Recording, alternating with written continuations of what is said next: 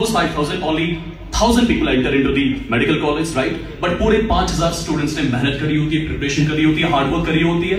सो so, मेरे लिए सिर्फ़ ये लोग सक्सेसफुल नहीं है। मेरे लिए वो सारे 5,000 स्टूडेंट सक्सेसफुल है जिनने अपने मिडनाइट ऑयल्स बर्न करके प्रिपेयर किया है right and they are going to get the fruits of it any time इन लोगों ने they got the result right now they are going to get it afterwards may be right हर किसी की life में ऐसा stage आता है जहाँ पे इंसान को हार्ड वर्क करनी होती है। कोई पहले करता है, कोई बाद में करता है। किसी को इसका रिज़ल्ट पहले मिलता है, किसी को इसका रिज़ल्ट बाद में मिलता है right and these guys are the जिनको इनका रिज़ल्ट अभी मिल चुका है and they are going enter it the new phase which is trust me the best phase of the life you guys are going to love it absolutely and this this this these these are going be your actual memories which are going to remain with you throughout your life right at the same time one more thing बहुत सारे students NEET के लिए prepare करते हैं right?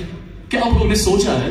NEET prepare करके we go into the medical college it's all about biology do you know why do you study physics why do you study chemistry do you know that any one of you have you asked this question to yourself ever no right I tell you in physics you deal with problems right आपको teachers class में train करते हैं। कैसे numericals को approach किया जाता है right in the lesser time how to solve the question lesser time That's something which you learn in the classroom, which your teachers like Tantre sir, Altaf sir, Altaf sir, Khurshid sir, they teach you, right?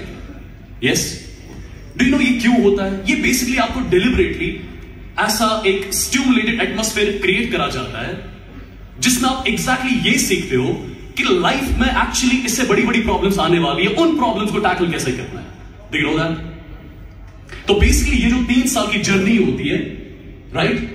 इसमें आपको exactly तैयार किया जाता है जो आने वाली situations है। आने वाली इससे बड़ी बड़ी प्रॉब्लम्स है।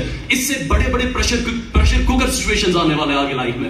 उनको टैकल कैसे किया जाता है? And these are the teachers who stand in front of you and they actually help you out in order to tackle in order to approach to those problems which are going to come in the near future right So huge round of applause for the teachers who are sitting right now, who have helped you in the preparation phase, right?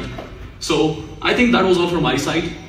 I wish all these students again the luck and I want